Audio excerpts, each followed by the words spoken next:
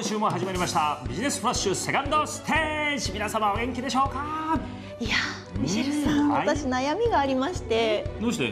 寒くなったりいいやいやいや雨になったりすると、古傷が痛むんです。や昔痛めたところが痛くなっちゃったりするんですけど。本当音するよ僕なんか。寒くなってゴキゴキってね今暖かくなったからいいけどねもう健康で気をつけてることあやのちゃんありますか？え私は、でもなんか最近あのこの番組で筋トレしなきゃっていうふうに言ってから、しなきゃって本当に思いましてしてるんです、だからもう筋繊維が今ちょっとやばい状態なんですけどなのでもうビシビシっときてる。ビシビシっときてるんです。はい。あ僕僕筋肉を鍛えるダラッときてる。私は緩めてダラッときてるまあ人それぞれいろいろ 体の悩みってあると思うんですけれども、はい。今回ご紹介する企業様なんですが、カイロプラクティックで生活習慣の改善から人々の悩みを取り除くこちらの企業様を30分通しでご紹介します。皆さんはカイロプラクティックとは何かご存知だろうか？カイロプラクティックとは1895年にアメリカで生まれた手技による骨や骨盤などの歪みを直接矯正する医療方法のことを言う。そんなカイロプラクティックを日本全国に普及させている団体がここにある。年齢も性別も学歴も関係なく今からその時点から頑張った方が頑張った分だけの成果が得られる世界を作っていきたいんですね。全国健康生活普及会本部長岩間信則。全県会ではカイロプラクティックの技術知識経営のすべてを学ぶことができるカイロ事業セミナーを開催。さらに本場アメリカにおいてカイロプラクティックの研修も実施しプロフェッショナルのカイロプラクターを養成している。またエステとカイロプラクティックを融合させたホリスティックビューティーインターナショナルアカデミーも開講し女性が求める美と健康をトータルで行う美容カイロエステティックにも力を入れている。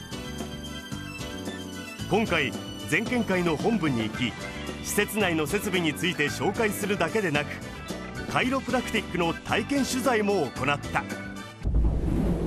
今回は全県会さんにお邪魔してお話をお伺いしてるんですけども、たくさん症状とかお写真とか飾られてますね。はいはい。これらは全てあのアメリカのカイロプラクティックの業界から、えーいただいてえーいるものでございまして、はい。カイロプラクティックがアメリカで生まれているものなんで、あそうなんで日本ではカイロプラクティックって民間療法なんですよね。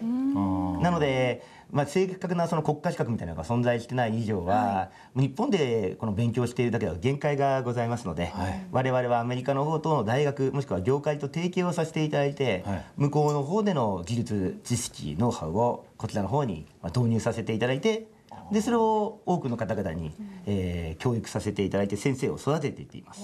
具体的に今会員数っていうのは何名ぐらいいらっしゃるんですか？えー今全国健康生活普及会の、えー会員としていらっしゃる方で1万2千人ほど、は多くいらっしゃるんだね。はい。い、ただ、まあ、自分の本当に健康のためにやられている方も多いので施術院という形で、はい。えー開業をしていらっしゃる方で4000店舗ほどでございます。店舗が4000店はい。舗全国にはいはい。えーはい。ここを通ってのうん。形なんだね日本ではまあ規模で言えば、おそらく最大規模だと思います。はいちなみにどんな方が会員になられてるんでしょうか？ご年齢層ですとか性別とか。本当に20代の学校を出られた直後の方も始めてらっしゃいますし逆に65を超えた方が定年終わった後にこの仕事をやられるなんていう方もいらっしゃいます。年齢あ職業も本当に過去どんな方別に医療関係をもともとやってた方だけじゃなくて、えー会社員の方だったりだとか逆に言えば、えー主婦の方もたくさんいらっしゃっていて、ね、比率で言いますと今6割以上が女性です。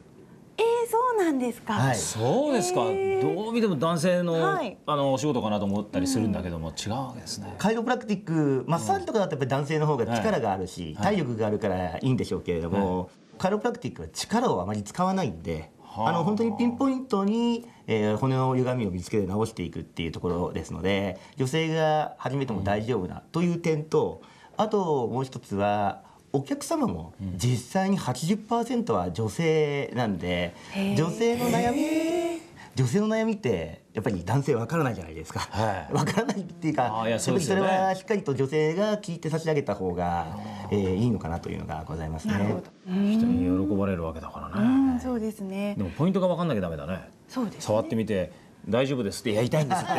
それじゃな、あれそうですよね。我々全国健康生活普及会では基本的には、えーセミナーという形で、えー泊まり込みで勉強会を集中で行いまして、でその時にはマンツーマンで指導して、はい、でそれを終わって勉強させたものを今度は地元に帰った方々が全国のその4000の施術院のところにインターンで入ってもらって、で忙しい方だったらば例えば週1回、時間がある方だったらば週6回とかインターンで入っていただいて自分のやりやすいペースで学んでいくっていう形式をとっています。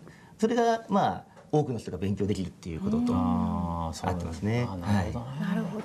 アメリカでも研修をされてるんですよね？はい、向こうにはカイロプラクティックカレッジっていうのがあって、いわゆる日本の医学部みたいなのがあるんですね。この4月も120名ほどを、えー向こうに、えー120名。はい、大体毎年開催して今、はい。まあ、17回目になったんですけれども、えー向こうに行って向こうの教授からの講義を受けて勉強したり向こうの施術院を実際に見学してアメリカではどうやってるのかを勉強したり、やっぱり実際アメリカで学べるっていうことがすごくいいところだと思うんですけども、はい。実際行かれた方ってやっぱり変わりますか？帰ってこられた後。もうそれはすごいですね。顔つきから何からもうその場合によってはその方のその後の人生も変わっちゃうぐらい衝撃的な、まあ、体験をする、はい。ようですね。我々の今指導の責任者になっているのがアメリカのカイロプラクティックのその業界のトップを経験された方だったり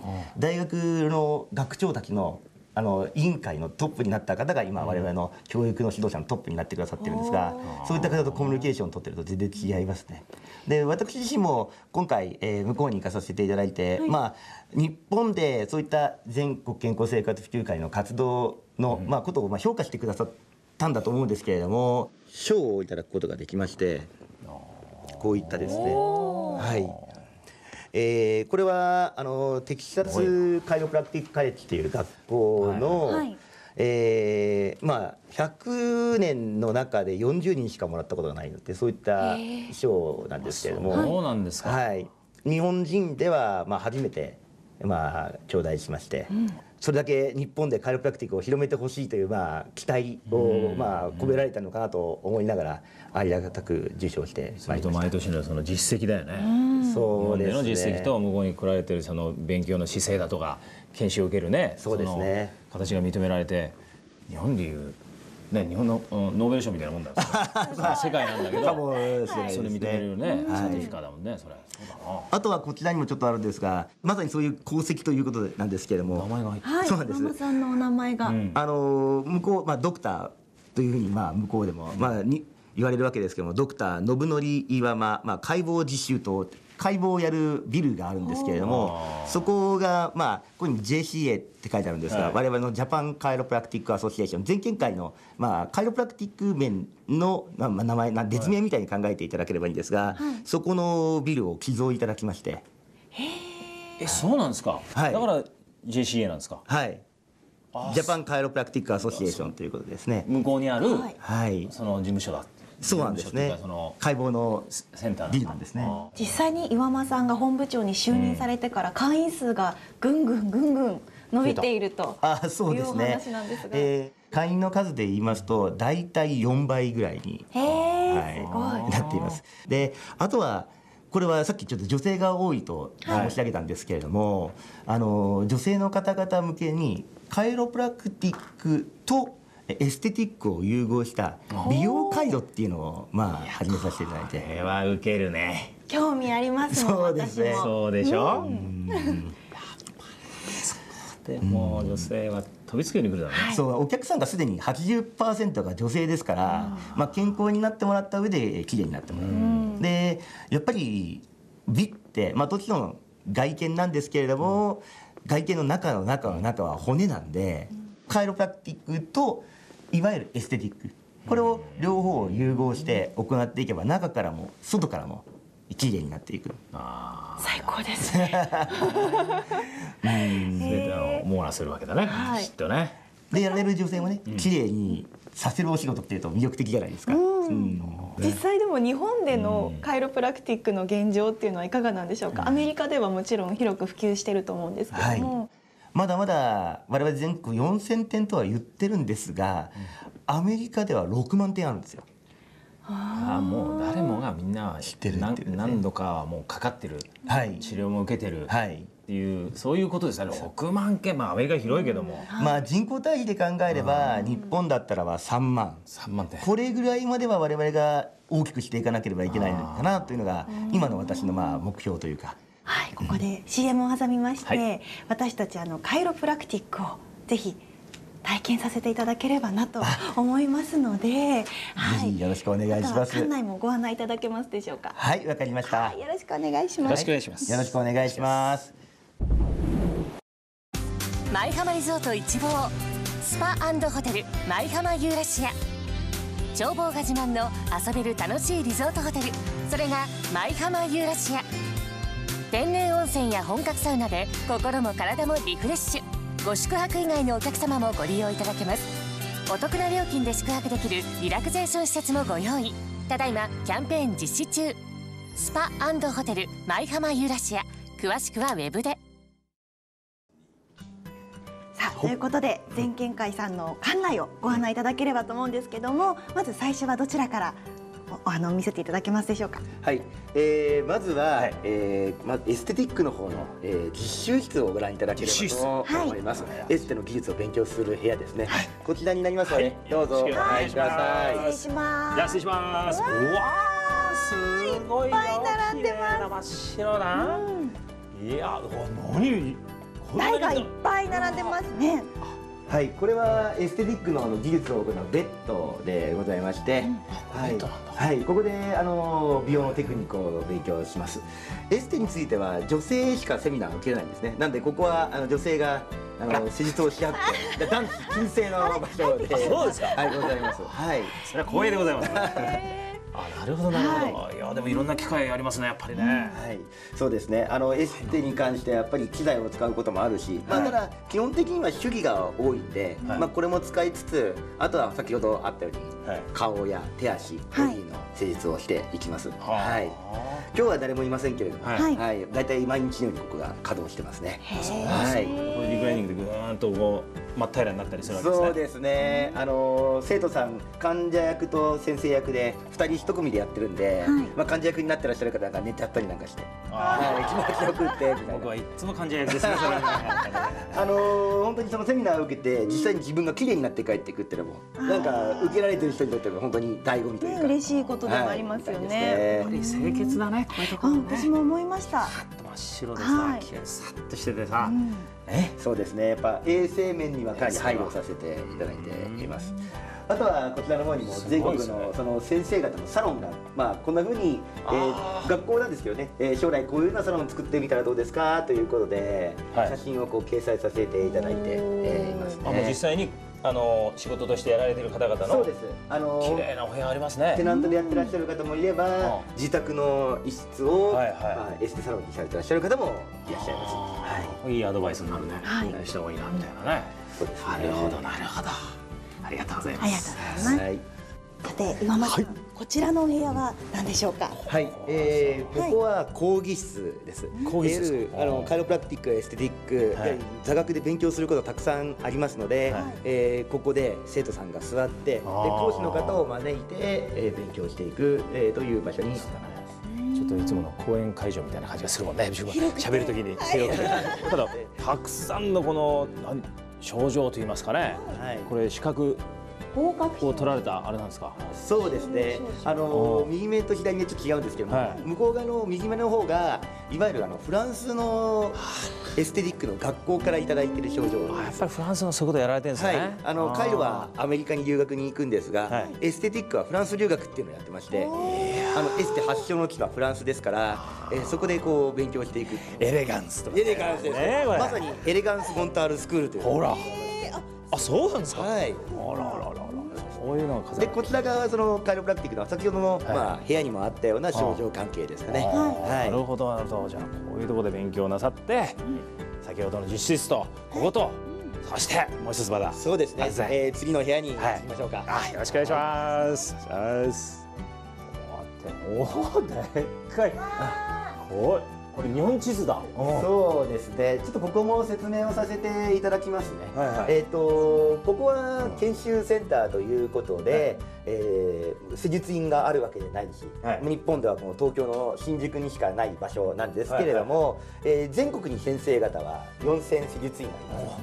みんな先生方のこれお顔写真ですか？そうですね。で、ここにいるのは大体約270の、はい。えーその支部というのを管轄している先生の顔写真なんですが、はい。そのこれでそれぞれの先生方が大体まあ10店舗とか20店舗とか、はい。まあそういった先生方を管轄して、あい。わゆる地元の勉強会を行ったりだとか、えー企画ごとを行ったりだとかっていう体制を全国で作ってるんですね。日本中を網羅してるわけですね、だからここでこの新宿で勉強した方は例えば新潟に帰ったら新潟でこの先生方に教わるとでまたさらに東京に来てさらなる上の実習を行うというのを繰り返しながら障害学習をしていくっていうのがその全県会の、まあ、教育プログラムになっています。サッカーでいう指導者のためのインストラクターみたいな、そうですね。ね。講師と呼ばれてます。あ講師さんね、はい。こうこれ矢印ついてるのは我々がここにいるっていう。そういうことですね。はい。はい。では次のところに行きましょう、お願いします。わあ素敵だ素敵だ今度は何でしょう？ベッドと言いますか、マえー、とットが、先ほどはエステの実習室そしてまあ講義室座学を勉強して、ここはカイロプラクティックの実習室です、えー技術を勉強するために、えーここで講師の先生が教えてそれをみんなで勉強していく講師の先生じゃないですよね。そうですね。はい。やっぱり骨もあの必要なんで、はい、あの見せながら、あの歪んでる場所とかそういうのを説明しながらやってえーまいります。えね。そうですね。あの生徒さんがここもそうなんですけども、先生役と患者役で二人一組になって勉強していって、さらにあのさらに全国の先生方をはい。こちら側の方に来てもらって、あの先生役生徒役でやって二人一組に指導者をつけて。ああなるほど。なのではい、マンツーマンでこう教えていくっていうのを行っています。そういびきかく人いないですか？寝ちゃう人もいるかもしれないですね。やってもらってる最中。に、なるほどね。これでもはい。でも気持ちよさそうだよ。動い ちゃいますよねこれねえーこちらのまああの手ベッドのベッドっていうか矯正版というふうに言っているんですが、どっか悪いとこありませんか？いいね。寝心地どうですか？いいね。あのこの何一つ一つが出っ張りが当たってるんだよなんかボコボそうなんですね。はい。あの初心者の方がカイロプラクティックを勉強する用の施術テーブルでもあるんですが、実際には先ほど言った睡眠療法を行う寝具としても患者さんに使っていただいてるんです。そうですよね。気持ちいいですはもんねこれ。はい、なので本もう多くの患者さんがこれで寝て背骨を歪みを整えてくださってその上で施術院に来てくださるということをやってます。なるほはいどね。こうじゃあ先進めといてくださいね。寝ないでくださいミシェルさん。確かに。確かにいかんな。ありがとうございます。あそうですか。ぜひあの、せっかくなので、はい。体験もできたらなぁなんて思うんですが。あこれの？はい。やってもらうの？やってもらえたらいいなぁなんて、ああできたら、えー、とその機会をこちらの方でもやりますので。あちら側にあのモデルルームがございますから、はい。そちらの方で施術をしてみましょうか。いやー助かります。つって。よろしくお願いしますということで私早速しただけですけど着替えまして、ありがとうございます、こちらがモデルルールームってことなんですよね。はい、はい。えー実際の施術院に似せて、まあ、作らさせていただいて、まあ、勉強用にということでやっています、でいつもですと施術であれば患者様いらっしゃったら、はい。ここで30分か、まあ、1時間ぐらい、はい。えー患者様の症状どこが歪んでるとかもしくはどこが辛いかとかっていうのを問診させてもらいます。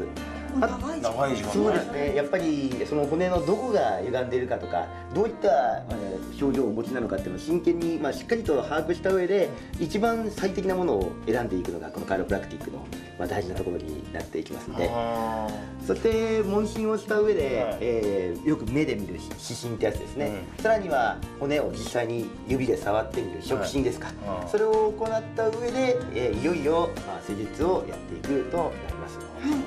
我々のその講師の、こうえー指導者の一番のトップになってます講師統括という地位を持ってます、その佐藤先生に来ていただきましたので、お願いしたいと思います。はい。はじめましてどうも。お願いいたします。よろしくお願いします。よろしくお願いいたします。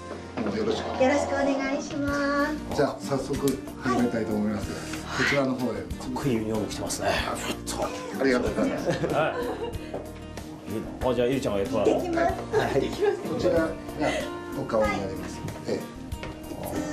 うつ伏せでお願いします。うつ伏せで。はい。まずあのようにあの骨盤の歪みが。ははい。い。ゆりちゃんは新体操とかこう踊ってきましたからね。そうなんですよ。足の長さがねだいぶ違ってますね。あら。本当だ。ですか？わかります？本当ですよ。はい直しましょう。じゃあこっち向いて横向きにこっ向いて？ち向いてください。はい。横向きに？枕を。横向きってあそうですね。はいその通りです。よろしいでしょうか？はい。ちぐーっとリラックスして。はい。あ曲げていいですよ。こうこうですね。今この骨盤がこうねじれてるので足がつり上がっちゃってますので直させていただきます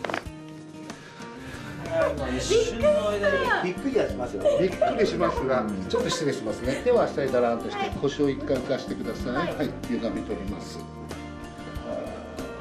い。力抜いてください。はい。ぴったりますね。あら本当だ。はい。本当ですか？感じませんか？かえ？はい。治りました。え？はい、こういう今度は仰向けに寝てください。肩こりがひどいって言ってましたので、はい。ちょっと首を見させていただきます。お腹の上で手を組んで。えこっちはよく回るけどあります。こっちはちょっと抵抗がありますね、はいはい頭痛とかうんありますか？頭痛？あ、はい。時々頭痛くなりますね。はい。うん。ここは痛くないですか？痛い痛い。こっちは痛くないでしょ？痛くない。はい。ちょっと首の一番上の骨が 横にずれちゃってます直しましょう。軽く？あ 力抜いて力入っちゃったね。はい。ただねえっ、とあと鼻の疾患とか目の疾患あります花粉症です。はいわかりました。やっぱりアレルギーあるようですね。今度2番目の骨を直します。えそうやってわかるもんですかはいね、頭を上げて。はい下ろして。ちょっと顎を前突き出して。あこうやって骨一個一個を正していく。はい。顎またあそう。よし。これで今治りましたんで、さっきの痛かったのは？あ痛くない。痛くないですね。はい。さっき。ーはい力抜いて。また検査。もう終わっちゃってますからね。はい。はい。さっき曲がんなかった首は？本当だ。はい。は両方曲がるすごようになりましいすごいたねうん。はい。大体これで手術は終わるんですけど、あはいちょっと起き起きていただいて多分肩がこりがあったのが取れてると思いますし。あ軽い軽い。ああやっぱそう軽い。ねあでしょ？本当だ。はい、でさっき腰が重いとかなんとか言ってましたよね、骨盤直しましたからその手手もちょっと立っていただいたり。あえ？本当だ。え本当に本違うと？当 本当本当。左足が上げづらいとかですよ。上がりやすくなりました、なんかもう慣れてるので痛いのとかこうあ自分の悪い悪いなりに向けないとかがもう慣れちゃってるからあんまり普段は何とも思ってなかったですけど、うん。いざ直していただくとかなり。だから自分の体じゃないぐらい軽くなっちゃああうんもうなんかですよね。1000メートルぐらいすごい速さですあ 気分で。あやっぱそういうふうに違これうんだが本来の本来のあの楽さなんですね今までのが悪かったんです。だはい。はあ足の長さもね足の長さとってて立ちやすくなったかも、本当にもうあんなに違うもんですね。あのそんなに違う？いやもうかかとの2、3センチ。二三センチがね。はい。でも全然痛くないですし、音は驚いちゃいますよね。そうびっくりしましたけど、でこういうような施術をピンポイントで見つけるためにしっかりと見ていくっていうのとやっぱりあの安全面には配慮して、はい。あの教え方などもしっかりとやっていくっていうのがありますね。であと今よくはなったんですけれども、はい。これまた数日後というか普通に生活していると、うん。おそらく日常生活での癖があるのであ自分の習慣がねはい。どっちでどっち足で立つとかってそうですね。なので元に戻ってしまうので、まあ、また施術に来ていただく必要があるのとそれでもそうそうずっと施術していかなければいけないのでやっぱりそれは根本的に直していくために、えー栄養とか姿勢だとか睡眠だとか、まあ、運動とかそういったものも先生から日常生活の指導をしてもらうというふうにもちろんそちらの方が大事です。ああなるほどね。健康ってそういうもんだよね。でも必ず一つのパートはこちらにねお願いしたいよね。いや本当そう思いました。でしょ？それがみんな合わさって。でっかくなるんですよねこういうそうですね。はい。ありがとうございました。笑顔になっちゃったな。本当にな ありがとうございましたそれではですね全県会さんの今後の展望についてお伺いしたいと思います。はい、えー私どもの目的というか、まあ、夢なんですけれどもやはりこれだけアメリカの業界の方から、えーバックアップをいただいて、まあ、期待を寄せられてますので、やはりカイロプラクティックというものをこのアメリカと同じぐらい、えー認知されるものになっていってほしいなと思っております。さらには、まあ、女性の方々が、まあ、この仕事を始めてくださっていわゆる子育てをしながら家事をしながらそれでもそうだな。はい。しっかりと女性としての幸せとそして社会における一人の人人間としての幸せの両立できるっていうのが作れたらまあ今我々としては希望して頑張っているところでございます。この番組を見ていただいて、はい。あ私もそういうものがあの手に職をつけたいとかっていう人はぜひね、そうですね。ねのいつも我々としてはそういうのを先生方を募集しておりますので、だと思いますね。はい。では最後になりますが岩間さんの格言をお願いします。格言というものと言えるかどうかわからないんですが私がまあ常に心がけているのは年齢も性別も学歴も関係なく今からその時点から頑張った方が頑張った分だけの成果が得られる世界を作っていきたいんですね。このカイロプラクティックもしくは美容回路を通じていけば本当に今から頑張ったら何歳からでも始められるしそして本当に努力さえしていただければ本当にこの手に職ですからそれだけの収入も得られそして人から喜ばれる仕事になる生きがいを感じられるんだと思っております。いやー素晴らしいね、本当にもうますますの発展をね、あの願っております。今日はどうも。ありがとうございました。どうもありがとうございました。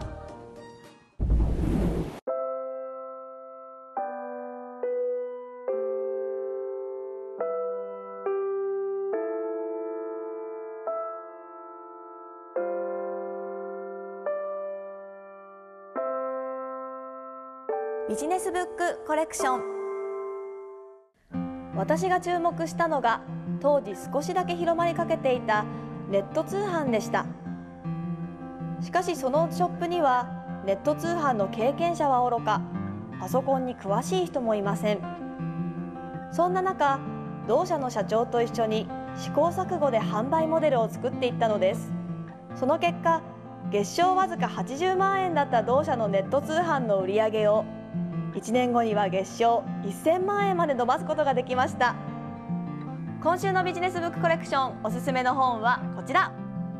右肩上がりのネットショップ59の打ち手この本を書いたのは船井総合研究所通販 EC ビジネスコンサルティンググループ。